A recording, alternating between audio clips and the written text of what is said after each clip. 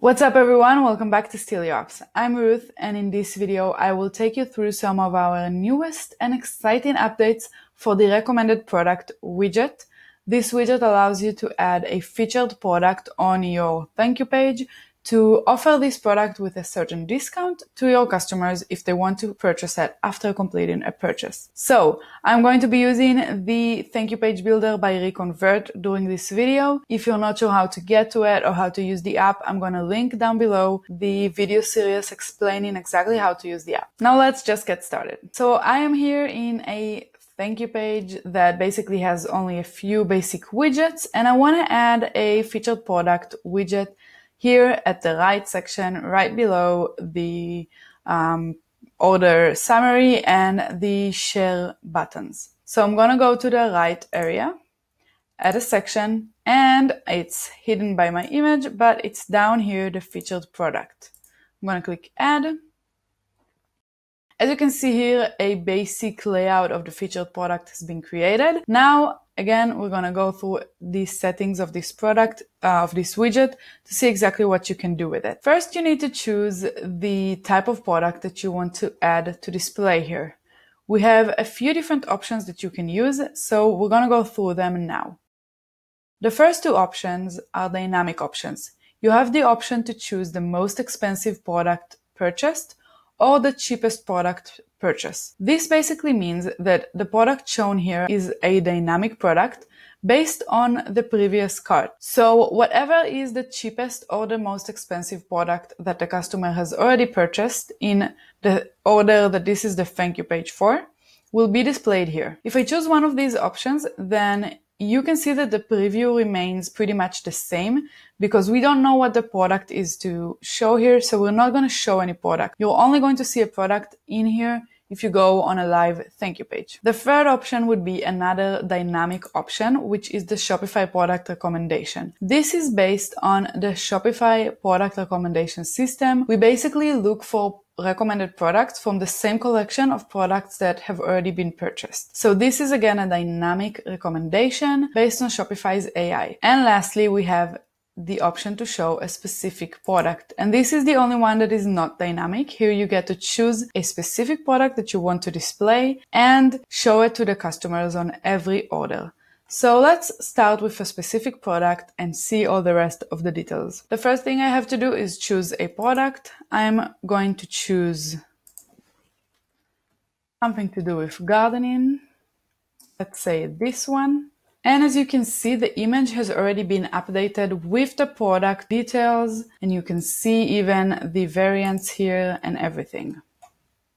The next thing you can choose is what to do in case this product is already in the order. So if this product has already been ordered by the customer, you can choose if you want to display it or not. So you can display the selected product anyway, you can hide the featured product widget, or you can display an alternative product. Let's go with displaying an alternative product here, and I'm going to show just a different type of pot.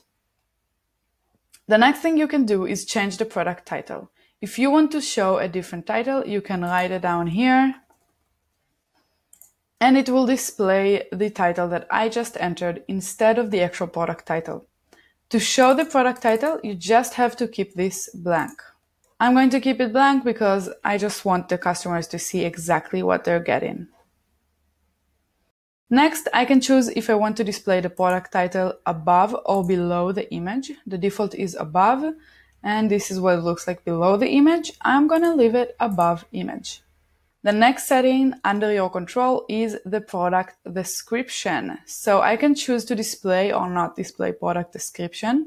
A word of caution about product description is that if the product description is very long, it might not look very good on your thank you page, especially in mobile. So take that into account. Let's say I want to display product description. I have a product description here. It's not very long, so it's okay to show even in the right section, which is a little more narrow than the left one. But let's say I don't want to show all of that. I just want this first paragraph. I can um, copy this paragraph. And just like we did with the title, we can override the product description. And I can only see the first paragraph here. I'm gonna leave it like this and only show the first paragraph. The next thing I can do is choose what to do with secondary images for the product. By default, the secondary images are completely hidden. I can choose to show them below the main image. And this is what it looks like. The customer can just scroll between images and choose the one that he wants to zoom in on.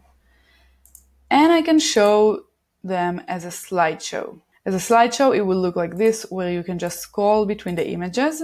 I am going to choose below the main image. The next three things we can choose are the little things that really make all the difference. I can choose if I want to display a quantity picker or not. So if I choose to not display a quantity picker, the customer can only buy one at the thank you page, but I'm going to display it in this case. And you can also choose to change the text here to anything else. I'm going to leave it at quantity. Next, you can change the variant selection. You can enable it or disable it. If I disable variant selection, then the customer cannot choose a different variant. There's only one variant that he can buy.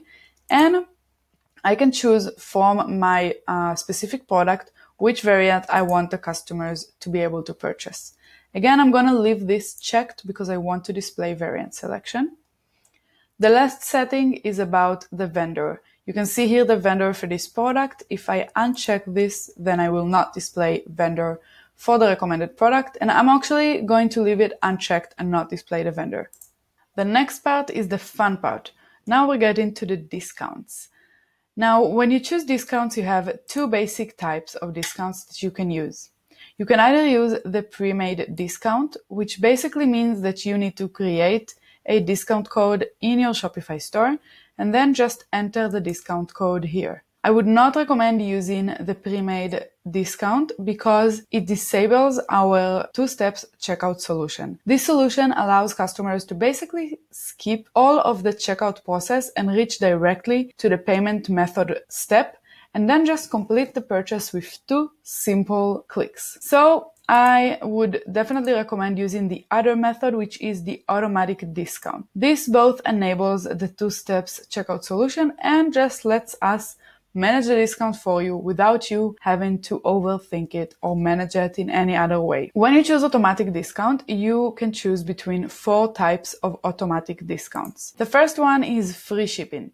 Free shipping is a great discount all on its own and there's no reason not to just offer that on the thank you page because you don't really want people to pay for shipping twice. The second type of discount is percentage and it basically allows you to offer a percentage discount to your customers that will be applied on all of the new order. The third type is a fixed amount per unit sold. So if the customer chooses two of this product, he will get a $20 in this case discount for each one of the products that he added to cart. And the last one is a fixed amount for the entire order. This allows you to set up a discount amount that will apply for the entire order. No matter how many items are in the cart, this is the only discount the customer will get. Lastly, you can also set up free shipping for each one of these types of discounts. So that if you don't want customers to pay for shipping twice, you can just offer them free shipping in addition to the discount that you've already offered. I'm going to use the percentage discount. It's my personal favorite and we're just going to give 20% off.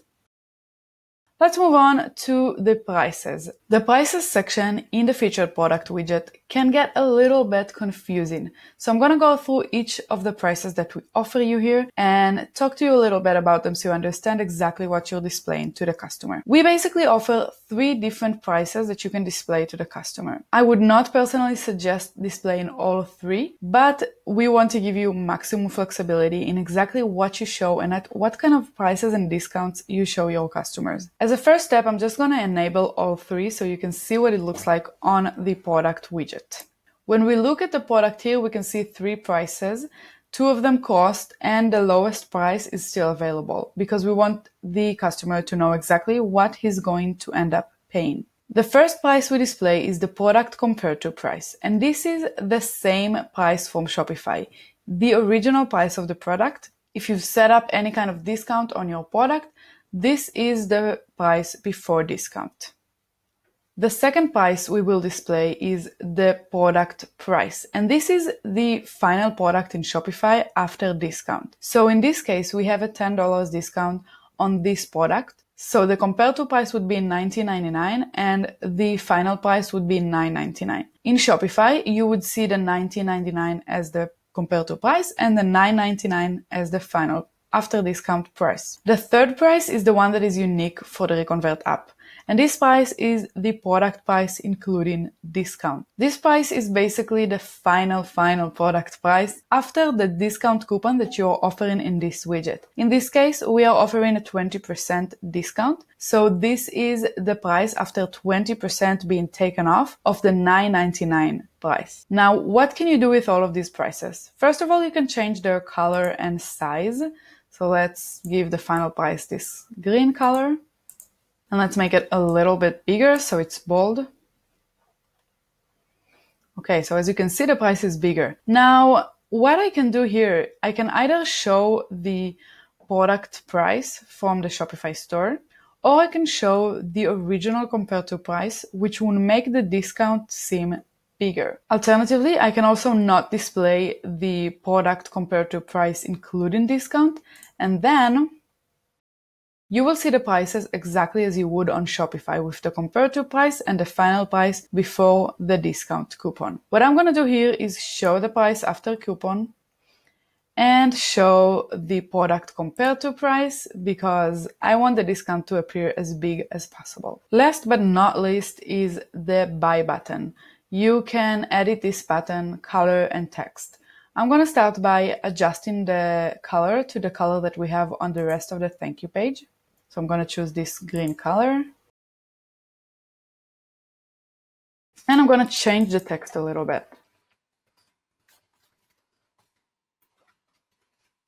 There we go. Let's save this page and check it out on a real live thank you page. Okay, you can see in this thank you page the featured product. We have the prices here, the product description, and the option to go between variants. I'm gonna click get this with 20% off.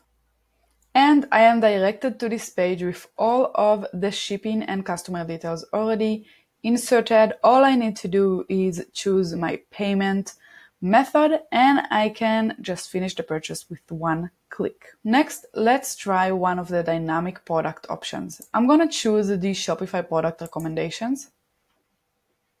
Once I choose a dynamic product, as you can see, the product pictures disappear and also the variants, and you only see this kind of generic template over here at the thank you page. And that's because, like I said in the beginning, we don't know what product is going to be displayed yet. You can only see that on the live thank you page. When you choose the Shopify product recommendations, we automatically do not display a product if it is in the cart already. So you don't need to worry about that. But what if there are other products that you don't want to display on the thank you page for any other reason? What you can do is use exclusion tags. That basically allows you to tag the product in whatever tag you choose and tell Reconvert that you don't want to display this product on the featured product on the thank you page. So you would enter the tag that you used here and we will not display this product for you. What you can do next is choose what to do if a product is tagged with this tag. You can either display an alternative product or just hide the featured product widget. If you leave the exclusion tags blank, then it will just display all products. But if the product is already in the cart, we would just use the choice that you made here, either hide the featured product or display an alternative one. I'm going to leave most of the settings the same. There are only a few things that I would change. First of all, let's not display, display product description.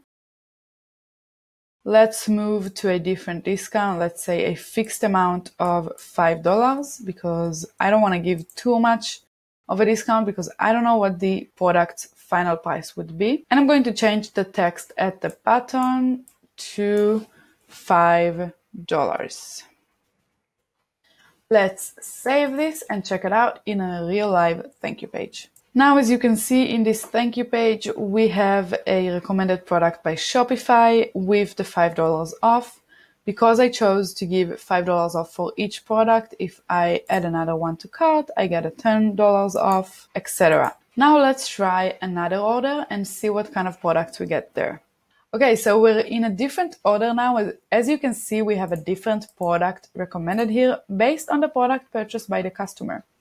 If I click get $5 off, I will be directed to the same payment page. And voila, as you can see here, I get the $5 off for my product and I can reorder it now. So that's it. This was all about the featured product. It is a super useful product. There are a lot of settings to set because we want you guys to have maximum flexibility and have all the control over what you display on your thank you page and what kind of offers you offer your customers. It is a relatively new widget and yet it is one of our highest converting widgets already. So I would definitely recommend adding it to your thank you page. It has the potential of getting you a lot of repeat sales. If you have any more questions, feel free to contact our support or contact us through social media. We would love to talk to you and help you set up your thank you page. And I will see you guys in the next video. Until then, have fun optimizing your conversion and retention rates.